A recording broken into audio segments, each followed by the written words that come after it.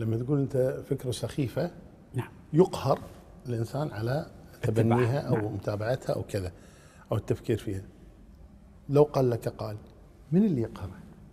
أي، مو هذا هو. إحنا هذه النقطة مهم جزاك الله خير نقطة مهمة جدا. لابد أن تكون الفكرة نابعة مني وأنا أدري إنها نابعة مني عشان أفرقها عن مرض الفصام اللي هو الفكرة هذه تأتي من الخارج. يعني من نتيجة مثلا إنه يسمع صوت أو آه، عنده أوهام معينة.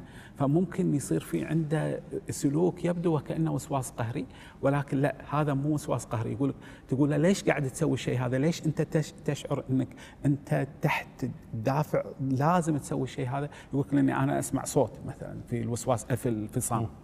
فني عند ال- الوسواس القهري لا لا هو يدري إنها فكرته زين